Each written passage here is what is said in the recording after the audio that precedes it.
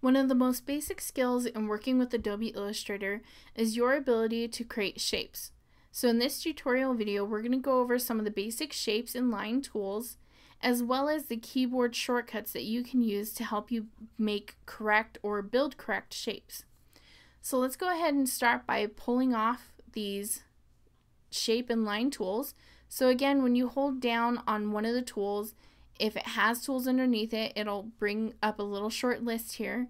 And you can click this tear off tab, and that's going to allow me to have mini toolbars up here. So I also want to go to the line tool and tear that off and have that available for me to work on in a second. So let's first talk about how you draw a shape. And we're going to use the ellipse tool for this.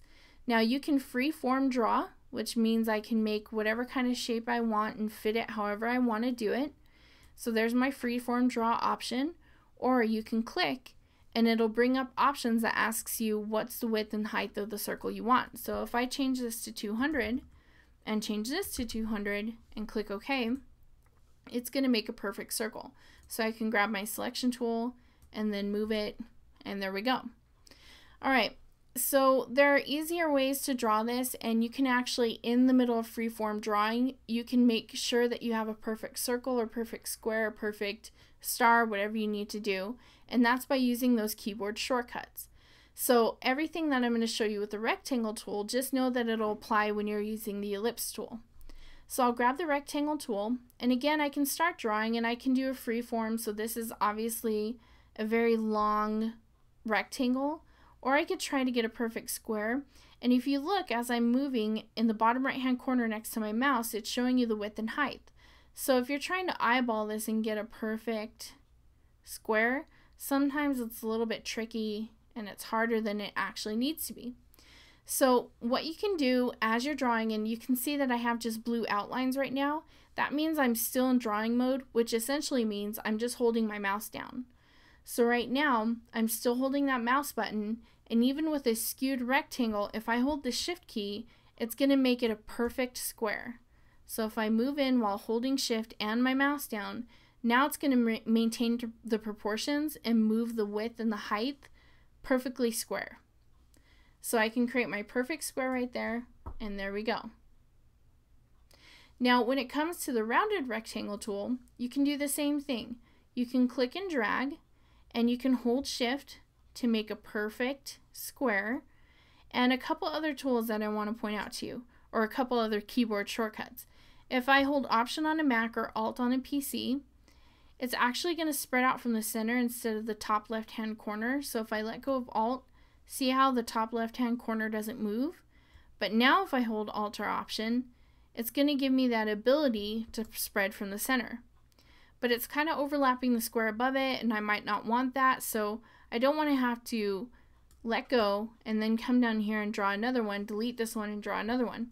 What I can do as I'm drawing, so let's say I'm drawing this out and I actually want it to be underneath the rectangle, I can hold the spacebar key. Again, notice I haven't let go of my left mouse key.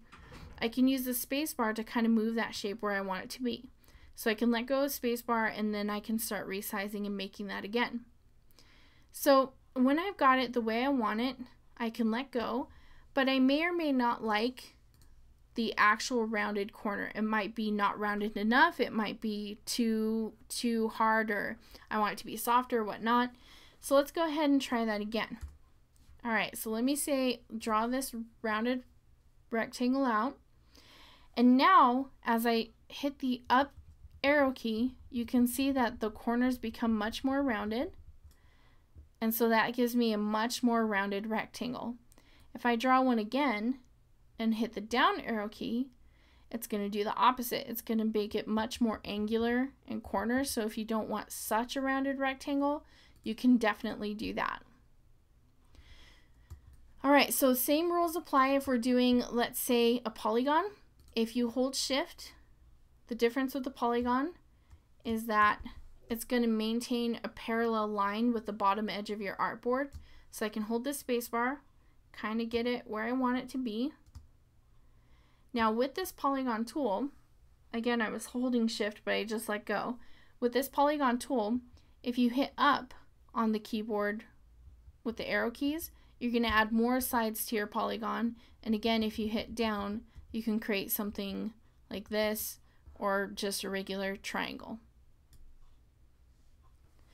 Okay, so after you work with the polygon, we're going to move on to the star. And it's going to create a crazy star because the last time I was in Illustrator, I created this crazy star.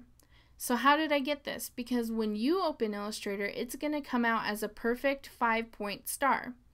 Well, first of all, if I use my modifier keys, again, the upper or down arrow keys, I can add less spikes. So I can get to the point where it has five spikes again, but it's a little bit too pointy. And I did that by holding the optin, oops, I mean the command key on a Mac, and I think that's control on a PC. You're going to have to play with that.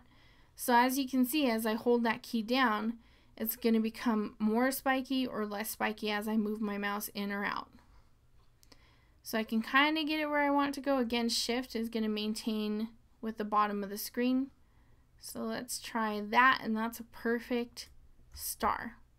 So again, if I go to draw another star, I can hit the up arrow key to add a lot of spikes, and I can hold command to make it super spiky or less spiky. And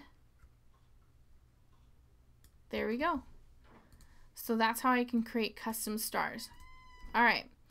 So moving on, let's go ahead and talk about the line tool. Now we could talk about the flare tool. All that does is create a flare. It's a lens flare, so you can play around that with that. I hardly ever use it in Illustrator, but you never know. There might come a time where you want to use it. So in terms of the line tool, I don't usually use the rectangular grid tool or the polar grid tool, but we'll talk about them anyway. So for the line segment, I just click and draw, and again, I can hold shift, and what that's going to do is it's going to allow me to move it in 45 or 40 degree angles. I can't remember which one, but it's trying to help you to create straight lines. So in and out, I can definitely draw a line. All right, so with that line, another keyboard shortcut, and I don't know when you'd use this, but it's kind of cool to use it. Let me change the stroke to 1 and try to draw a new line. And as I draw, if I hold the tilde key, which is the key just to the left of the 1 key, it's going to add a bunch of lines so you can do some cool artwork. And there we go. So now I can mess with those, color those, whatnot. I'm just going to delete them. All right, so for the arc tool, it's a little bit different. It allows you to create rounded edges. So if you hold the up arrow key, it's going to create a bend one way and it's going to get more dramatic. And as I hold the down key, it's going to bend the other way. And the more you go, the more dramatic that curve is going to be. And if I hold the shift key, it's going to try to maintain, maintain proportions. And then the alt key, I'm not going to lie, I don't know what the alt key does, but it does something. So Oh, it looks like it's making one side shorten while this side's not. So anyway, it's just playing around. That's the best way to kind of learn these tools. So let's go back to five point stroke weight so you can see what happened with that. All right, for the spiral tool, again, mine is different because I've been playing with these tools. So if you hit up or down, see how it keeps adding more spirals. So if I hold the up key, you're going to create a ton of spirals in this document. So I can go all the way down and there we go. So that's creating a pretty cool spiral. When you're first doing the spiral though, as you draw, and I better take all those out.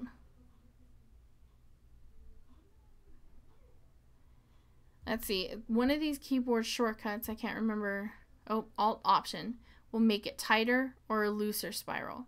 So as I'm holding the command key or control key on a PC, it's making a much looser spiral. So I can do that kind of a spiral. And it, it obviously it has a bigger gap between each of the lines than what you see here. So same thing with the rectangular grid tool. If you ever need it, you can hit the up key to add more rows and the left or right key to add more columns.